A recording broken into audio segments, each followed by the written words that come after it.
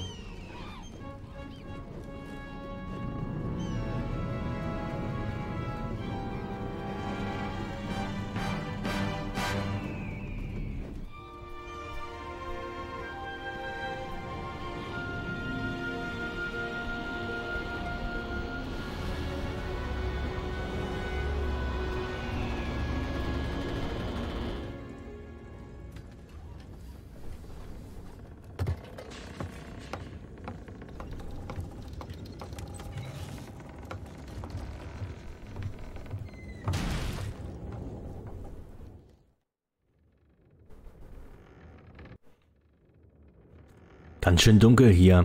Ja, und damit herzlich willkommen endlich in diesem Projekt. Ich stelle mich nochmal ganz kurz vor, ich bin der Matthew Creek, willkommen auf meinem Kanal. Ich spiele hauptsächlich JRPGs, ähm, besonders äh, Final Fantasy und auf meinem Kanal findet ihr auch derweilig Final Fantasy VII Remake und ähm, abgeschlossen und Final Fantasy VIII Remaster abgeschlossen. Ansonsten habt ihr auch noch andere JRPGs, ähm, vertreten auf meinem Kanal Persona 4 Golden, Persona 5 Royal und so weiter und so fort. Und jetzt halt auch Final Fantasy 9. Final Fantasy 10 läuft ebenfalls. Und ja, schaut euch gerne um, falls ihr auf dem Kanal neu seid. Lasst ein Abo da und äh, ansonsten starten wir hier dann auch jetzt mit Final Fantasy 9 auf der PlayStation 4. Und zwar hat das den folgenden Grund. Wir können dann hier auch durch äh, simples Tastendrücken zwischen den Parts, wenn ich dann mal Abilities lerne, zu den Abilities lernen komme ich gleich, ähm, ein bisschen verschnellern, damit die äh, Offscreen-Pausen nicht so lang sind.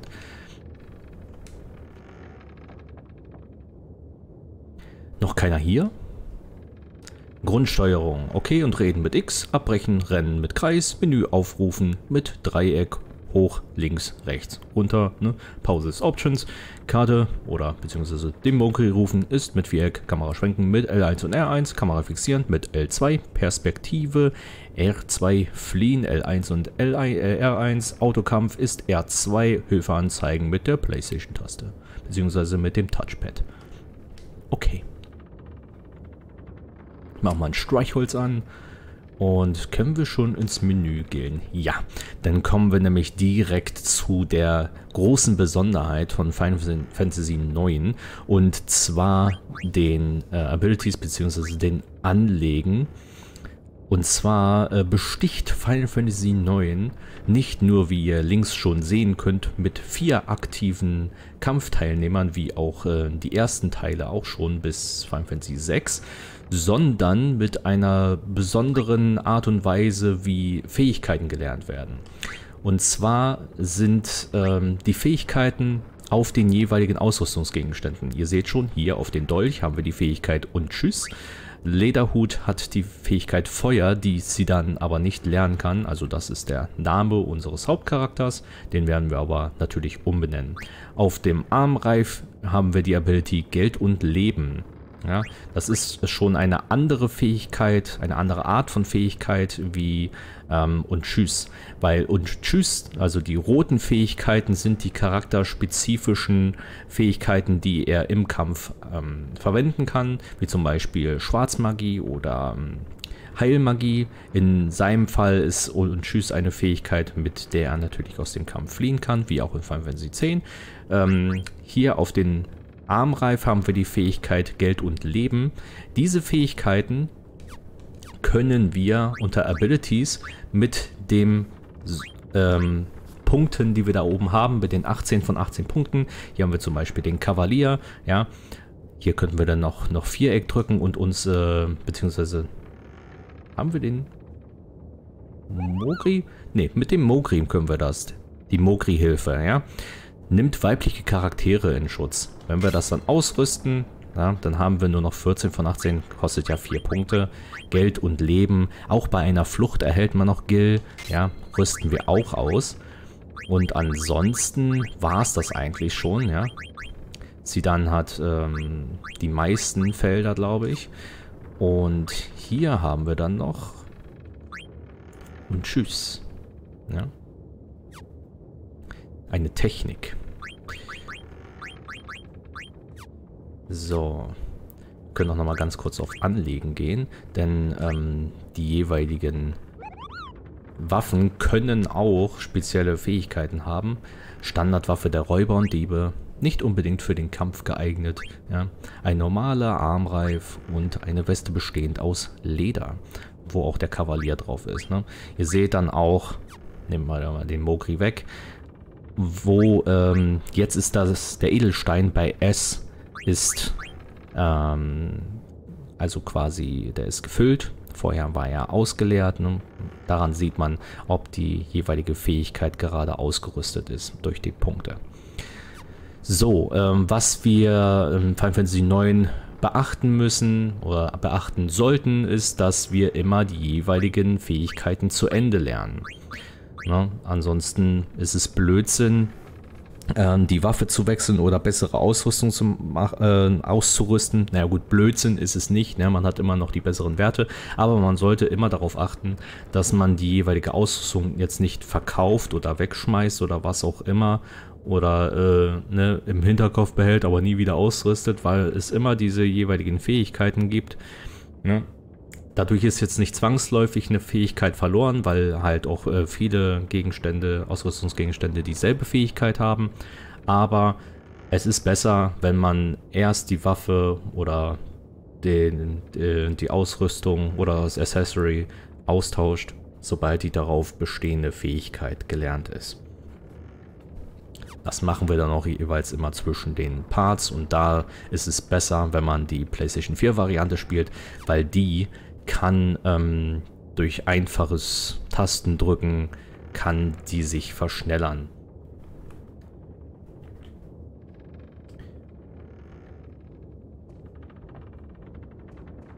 So, gehen wir mal hier ein bisschen herum. Wir sollen die Kerze anzünden. Das machen wir natürlich, aber erstmal schauen wir uns ein bisschen um. Theaterschiff Prima Vista, Schifftypus Luxuskreuzer, Gewicht 8235 Tonnen, das ist ein ganz schön dicker Poppen. Kapazität 288 Personen, Antrieb Nebelantrieb, Werft Seebold Werft, Nationalität Lindblumen. Aha, okay. Hier haben wir, glaube ich, noch ein bisschen Geld. 47 Gil. Und hier haben wir irgendwo noch eine Potion, genau. Potion.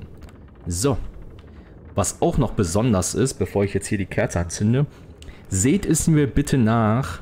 Ja, es ist ja, wie gesagt, ein JRPG der alten Schule ohne Sprachausgabe. Das heißt, ich muss alle Charaktere selber vorlesen, ist ja ganz klar.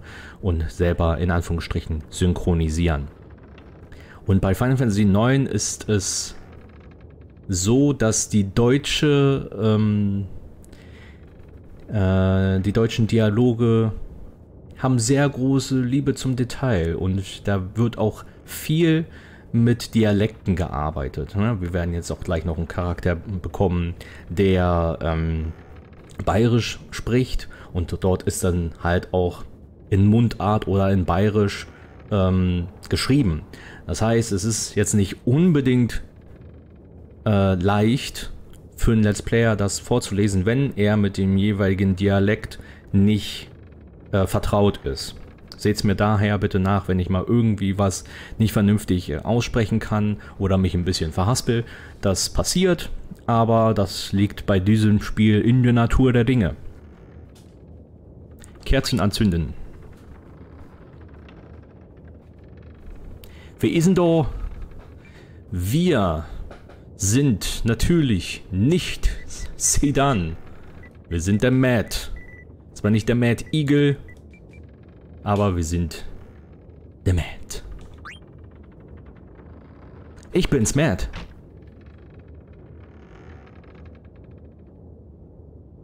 Ganz schön spät, Mann. Entschuldigung. Übrigens, ist der Chef schon da? Na, no neze fix.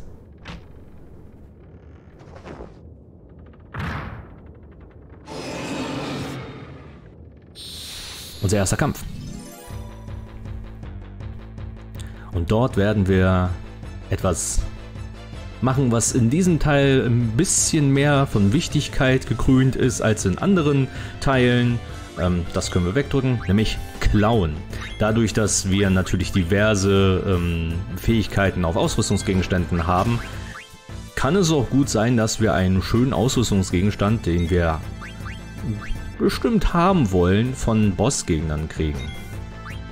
Deswegen sollte man Bosse eigentlich immer äh, beklauen. Wir haben schon eine Potion und ein, ähm, ein Armreif geklaut, aber das Wichtigste ist eine Waffe. Und zwar ein neuer Dolch. Dass Sinner gestorben ist, ist jetzt nicht weiter wild, der hält gar nichts aus. Diebstahl fehlgeschlagen. Da müsst ihr euch keine Sorgen machen, wenn er euch das sagt. Das heißt nicht, dass der Gegner nichts hat, sondern dass es einfach nur daneben gegangen ist. Sonst steht da ein Habe nichts. Ja, darauf könnt ihr dann quasi immer warten, wenn ihr irgendwie einen Gegner so lange beklauen wollt, bis ihr wirklich alles habt, was wir von denen kriegen könnt.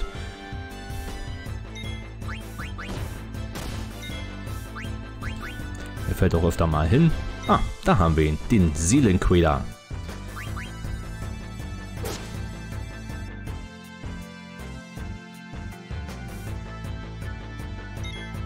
So, wir können auch wechseln. Oder, nee, Wechsel ist dann jeweils der Wechsel in die hintere oder in die vordere Reihe. Eigentlich eine Mechanik, die ähm, eher aus älteren Final Fantasies war. Ich glaube, Final Fantasy VII hatte es auch noch. Aber 1 bis 6 hatte das. Und ja. 8 hatte das natürlich nicht gab es keine hintere Reihe.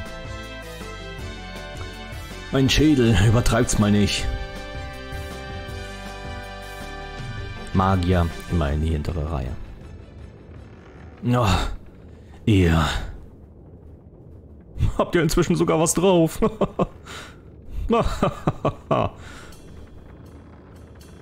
Gut, dann machen wir jetzt mal die Besprechung.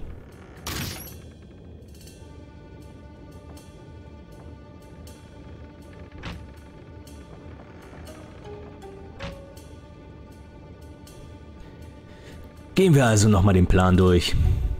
Unser Einsatz führt uns diesmal in das Königreich Alexandria.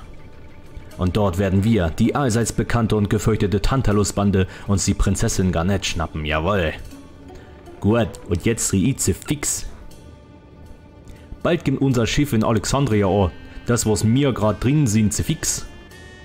Wenn unser Orns ankomme ist, lassen wir uns nix anmerken und spielen das in Alexandria serisch beliebte Theaterstücke Deine Taube möchte ich sein, Zefix. Markus spielt die Hauptrollen, Markus Zefix.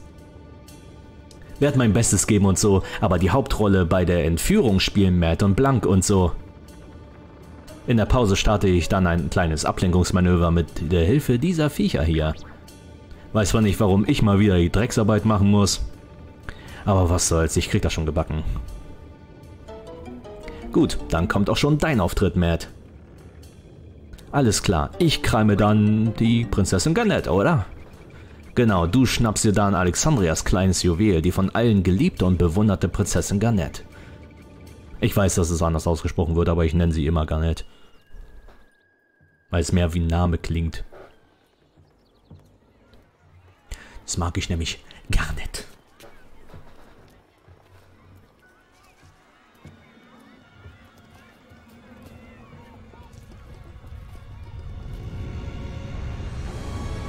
Der beliebteste Schwarzmagier der Reihe, würde ich behaupten.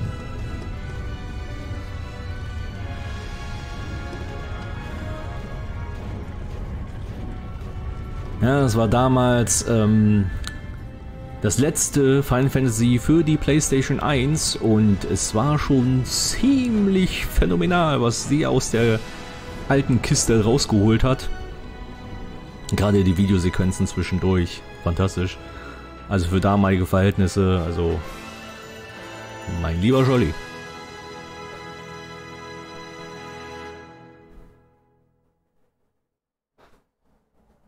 In-Game-Grafik wurde natürlich, also zumindest von den Charaktermodellen der Hauptcharaktere, ein bisschen aufpoliert für die PlayStation 4-Version, äh, ein bisschen auf HD. Der Rest ist eigentlich ähm, gestretched. Sieht man jetzt hier ja äh, an den NPCs. Sehen ziemlich schwammig aus. Ja. Aber unser guter Vivi, der ist crisp. Burgstadt Alexandria. Geht's dir gut?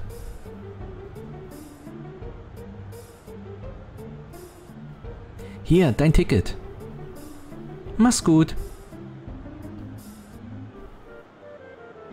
Und erstmal raus wieder aus dem Bild, denn äh, in Final Fantasy 9 sind allerhand Gegenstände überall verstreut. Ja. Na. Eine Zombie-Karte.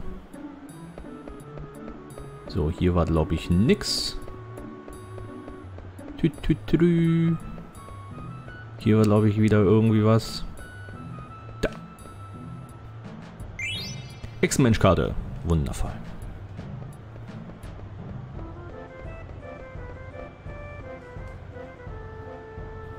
Und eine Tridentos-Karte. Und dann hier war bei der Statue noch was, glaube ich. Yep. Potion. Wundervoll. So. Gehen wir mal hier rein wir da gucken, dann fällt er uns nur auf den Arsch. Friedas Notgroschen in Höhe von 9 Gil gefunden. Leck mich am Arsch, Frieda. Hast du bei Wer wird Millionär gewonnen oder was?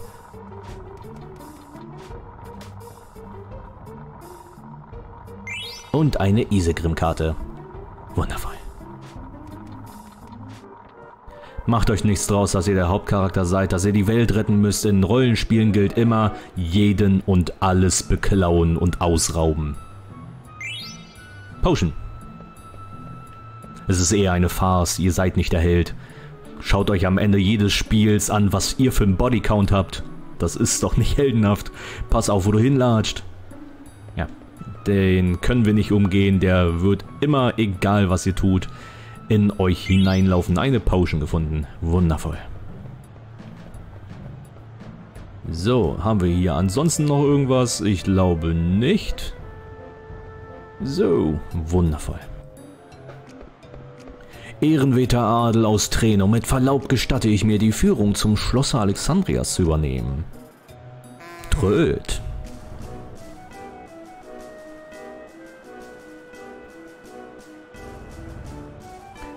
Und mit Verlaub gestatte ich mir, auf dem Bildschirm zuzulaufen und 33 Gil einzusammeln.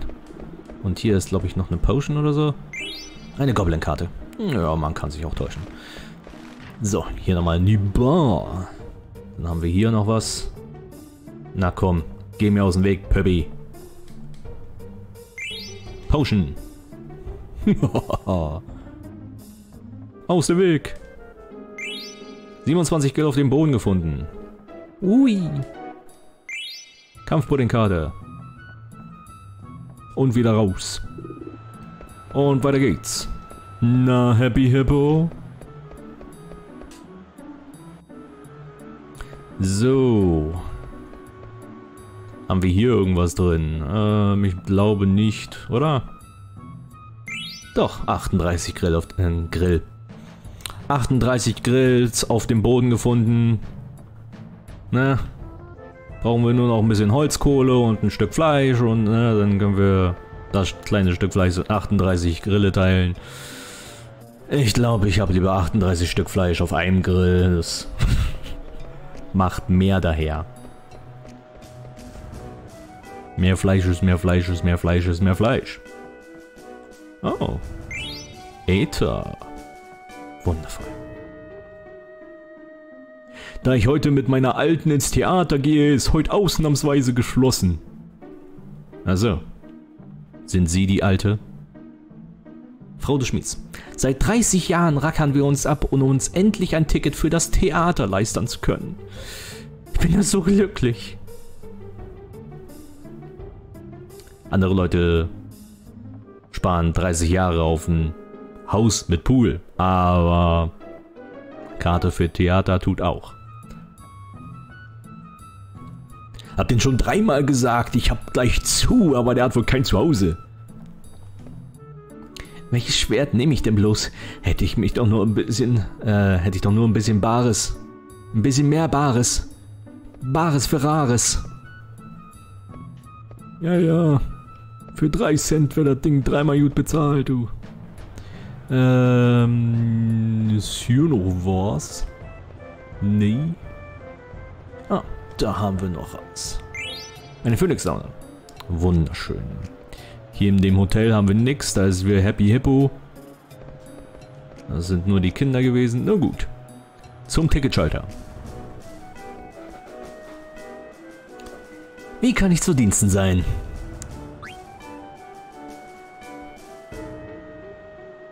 Hm, irgendwas stimmt mit dem Ticket nicht. Hoppla, das ist ja eine Fälschung. Kommt vor diese Tage. Oh. Nun schau doch nicht so traurig. Ich verstehe ja, wie du dich fühlst, aber... Schau mal, ich schenke dir das hier und jetzt Kopf hoch, ja? Goblin-Karte, Isegrim-Karte, Skeleton-Karte. Wenn du was übers Kartenspiel wissen willst, dann frag doch Seitenstraßen-Jack. Der ist ein echter Profi. Ich werde weder Seitenstraßen-Jack noch den vierarmigen Günther fragen. Die nicht ein und dieselbe Person sind. Doch sind sie. Oh. Herrschaftszeiten, weil du gestolpert bist, ist mir das Schild verrutscht. Ja. Puh, das war's dann. Oh, endlich Feierabend für heute. Mann, du hast aber einen sehr anstrengenden Arbeitstag. Hey, du da. Dein Ticket vorhin war doch eine Fälschung, oder? Ja, war eine Fälschung. Werd mein Untertan, dann nehme ich dich zum, auch zum Theater mit. Geht klar. So ist's recht. Und schon erteile ich dir den ersten Befehl. Schau, ob von drüben einer kommt.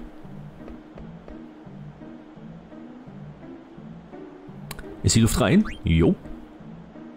Sehr gut, Operation Leiterklau kann beginnen.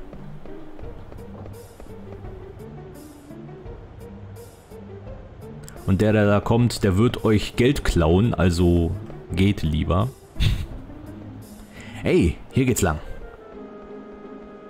Mach mal schneller.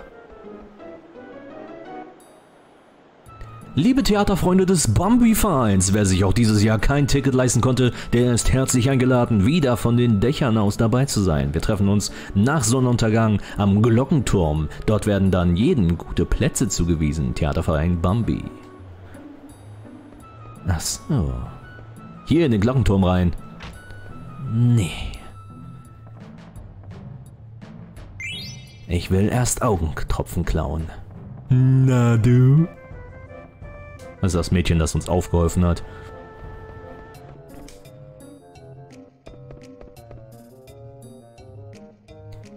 Hier klettern wir den Turm hoch. Kletter du doch schon mal vor. Nö, ich will noch was einsammeln. Ein Zelt. Und hier liegt noch was. Eine Potion. ah, was guckst du denn so blöd? Entschuldigung, Der Kleine da ist mein ist ein Mogri und heißt Kupo. Kupo. Kupo ist meine rechte Hand. Seid nett zueinander. Guten Tag, Kupo. Zur Wiedergutmachung trage ich dich auch in mein Notizbuch ein. Wenn du also mal speichern möchtest, dann wende dich einfach an uns Mogris, Kupo.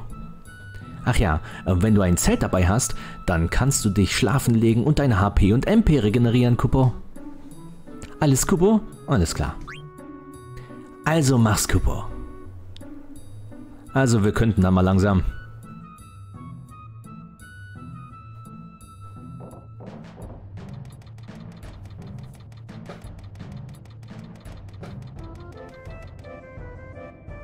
Na los, wo bleibst du denn? Bist du's, Kupo? Kupo, bist du's, Stilzkin? Diese Aufmachung, du wirst doch nicht. Schon wieder auf Reisen gehen, Kupo? Doch, und diesmal könnte es eine ziemlich lange Reise werden. Ich vermisse dich jetzt schon, Kupo. Brauchst du nicht, ich schreib ja auch mal. Das ist nett, Kupo. Also, halt den Bommel steif. Sag Mosche und den anderen im Schloss auch alles Liebe von mir.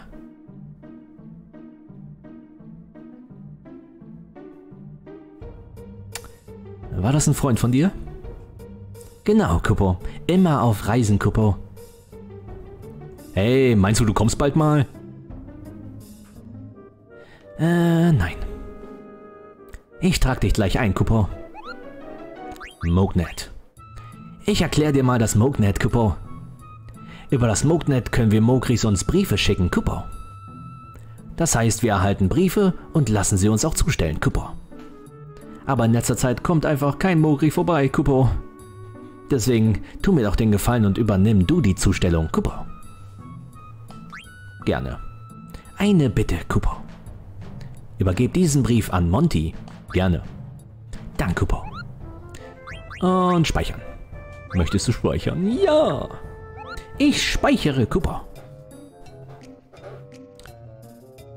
Und ähm, wir machen neue gespeicherte Dateien. Und nichts. Dann würde ich sagen, machen wir an dieser Stelle bei fast einer halben Stunde einen kleinen Cut, sehen uns dann im nächsten Part wieder, wenn es wieder heißt Let's Play Final Fantasy IX. Haut rein.